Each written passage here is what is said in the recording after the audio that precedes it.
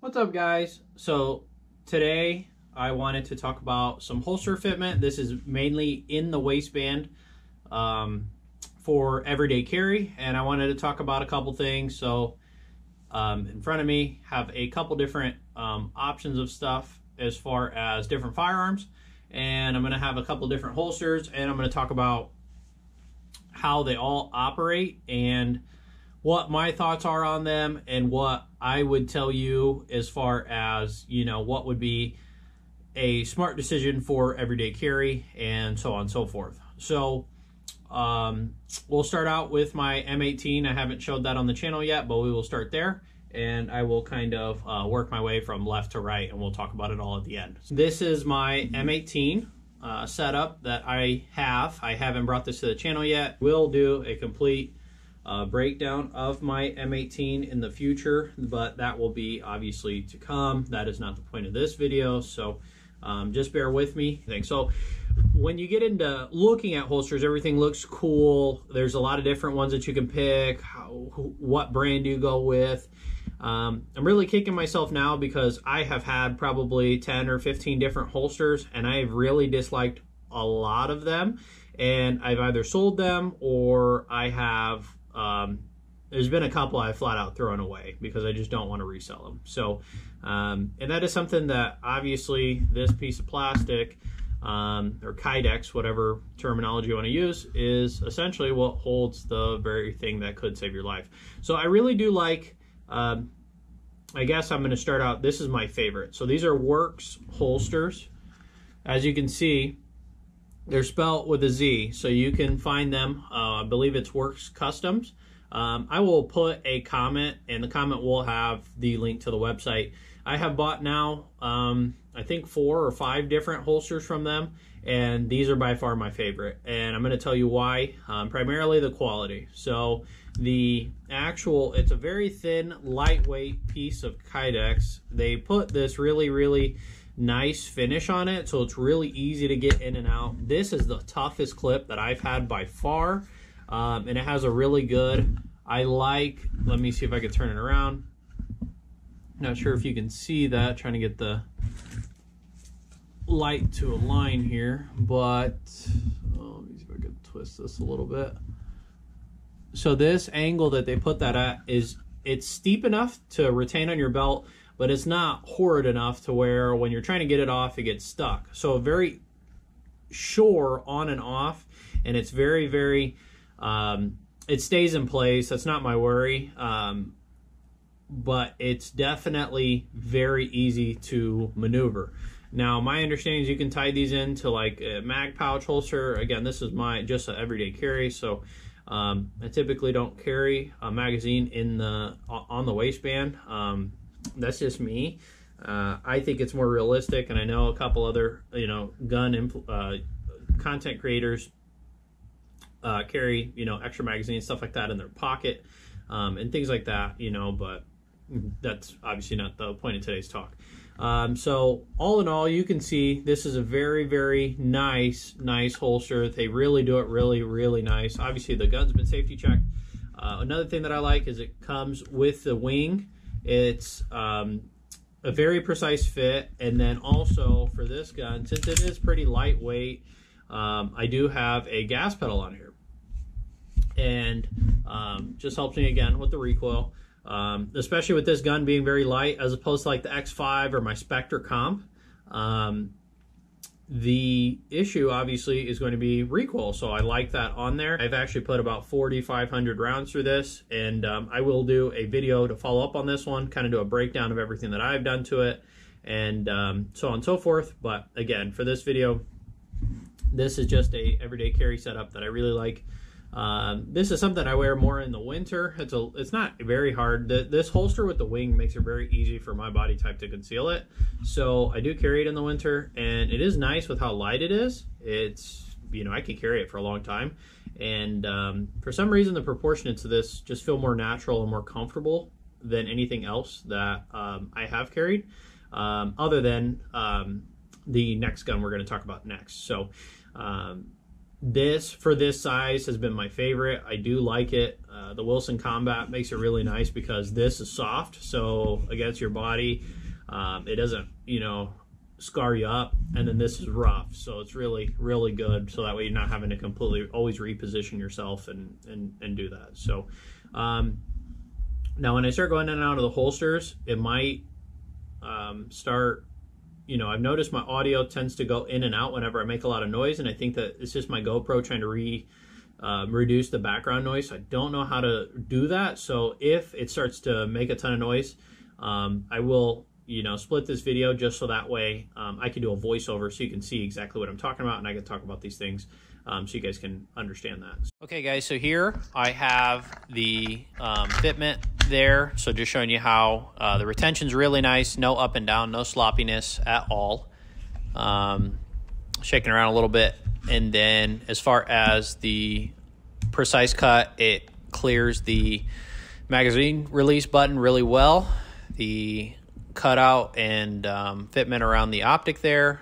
The buttons still function the inside so you can see the gas pedal is there and it actually has a divot in there um, where it precisely fits locks in the front has just a tiny bit of overhang and is really nice flush cut the wing is very nice has some nice retention and just overall great fitment this is a um, more of a micro 9 and this is something more that i carry um, you know whenever uh, it's super hot. I just have a t-shirt, whatever. This is just a um, a more concealable. This is my like ultimate concealability carry, and um, so I wanted to talk about a couple things. Now, since this does not have a weapon light on it, the moldings that you're going to get from average holsters are going to be a little bit more, tr- not a little bit, exactly a lot more true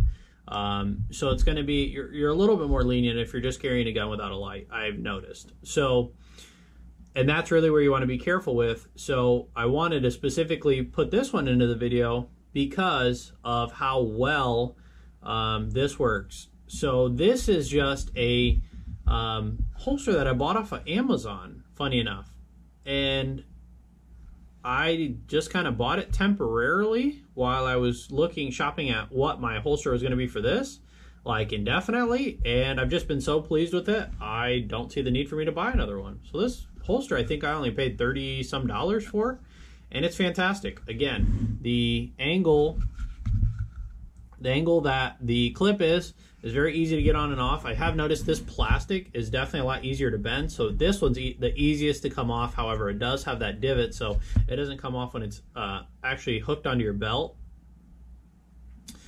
Um, it does come with a wing already. You don't have to purchase that. Uh, it's got a funky name, Gun and Flower. Again, I bought this off Amazon, but it works really, really well. So I'm going to show you that. Um, and uh, you can um, get your own you know thoughts for yourself. But so I've I've now had this holster uh, three and a half four months, and I'm you know it's you know firearms going in and out every single day. It's got very minimal wear um, on the outside and on the inside. Not really sure if you can see that, um, but it's held up pretty. Good. I mean, for the money, I mean, I just I was very shocked that I still have this because I've had a lot of you know, customizable holsters and cheaper holsters and things like that. And not necessarily money wise, but just in quality. And this one doesn't feel as nice as the Werks custom holster. The other one definitely feels a little bit um, nicer material. But this one, I mean, for the money, I think this is definitely the best one that you can get. Um, and they offer their holsters for a variety of handguns. So if you have a little, you know, uh, micro nine, they probably have a holster for the gun, and it's super cheap to carry.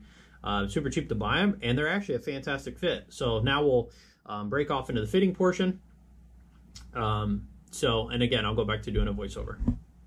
Okay, so here we're going to check the lock-in, which is very nice. Um, very, very, very, very little wiggle. Um, pretty similar to the Werks. Uh, they close off the end, which I like. Uh, doesn't really bother me either way, but um, you can see it's cut very well to um, kind of mirror the shape of the gun. Again, in and out on this for the price is really nice.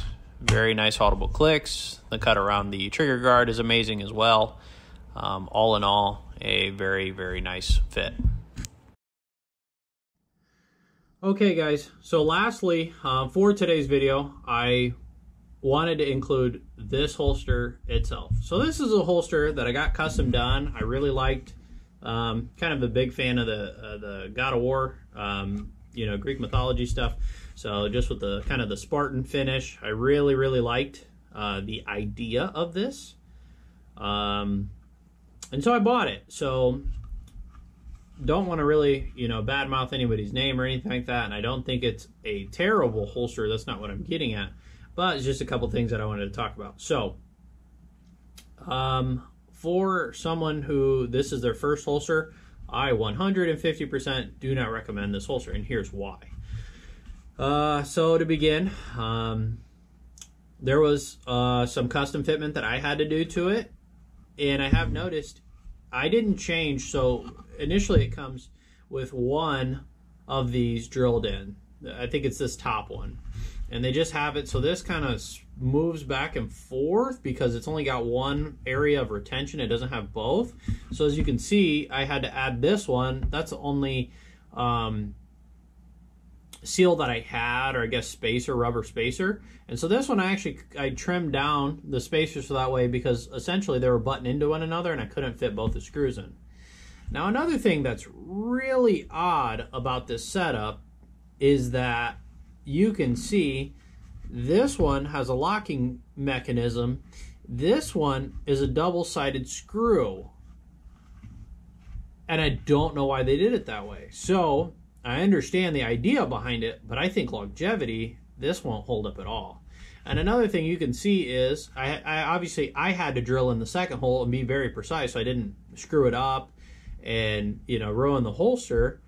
Um, I thought about sending it back, but you know I'm pretty. I've messed with a lot of different things, you know, as far as like um, any sort of like altering like uh, you know, fitment and stuff like that. So I felt comfortable enough to do it, but I don't recommend that, you know, just the average consumer runs out and does that. I think it's very bad. And you can see, um, if I hold it straight, this protrudes a little bit more, which is a, just more of an OCD thing for me, but it's still just not what you would expect out of a holster that, you know, they have tons of different configurations, everything like that. I feel like the fitment here is just not what it could be.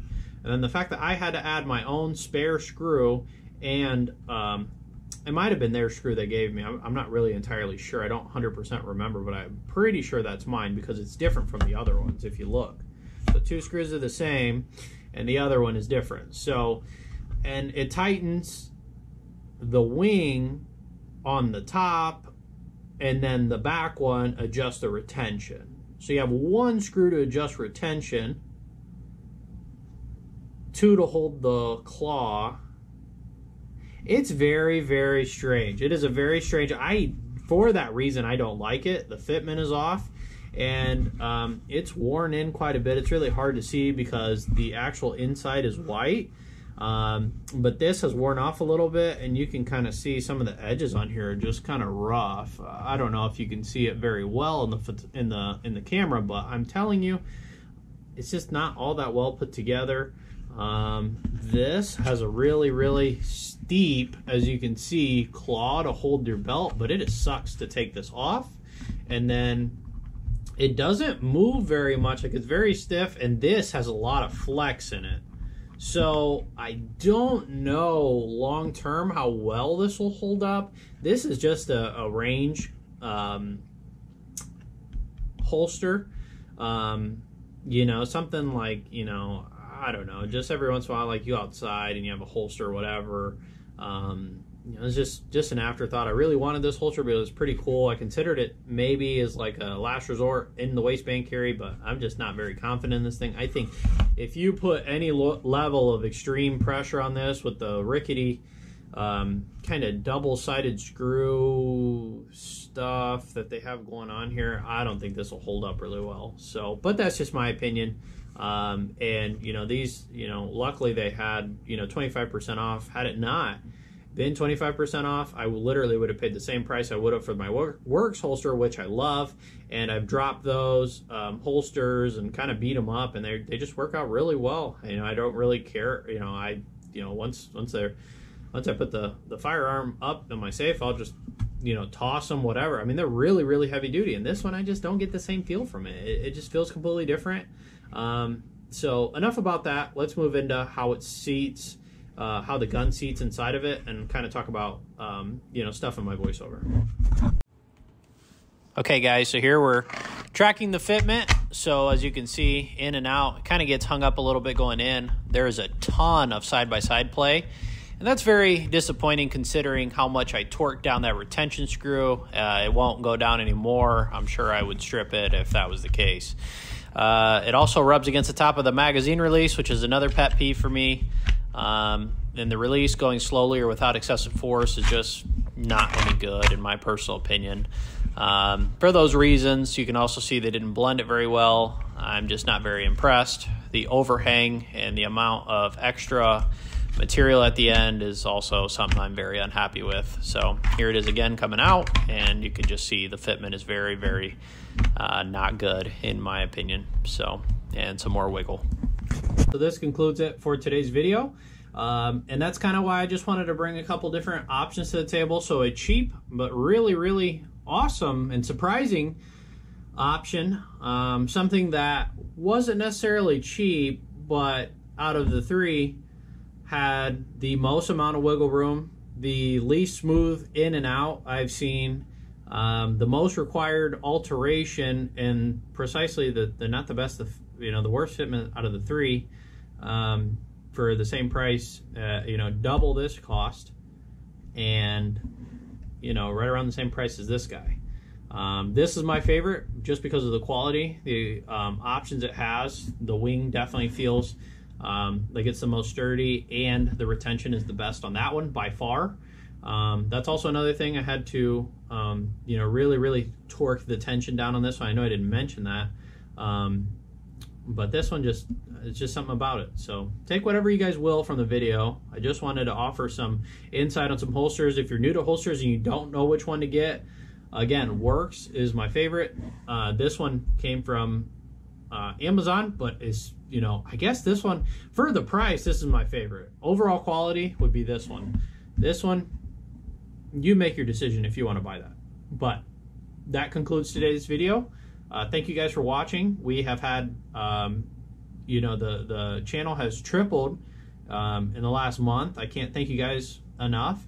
And if there's anything else that you guys want to see um, on any of these um, holsters, please stay tuned, um, and we will go from there. So next week, I want to talk about my M18 since I guess I gave it a, a little bit of a running head start this week by putting it in the video. I will do a full breakdown of that, talk about um, what I've seen, moderately high round counts that it's been through, um, and we'll go from there. So thanks for watching, and again, be sure to like and subscribe.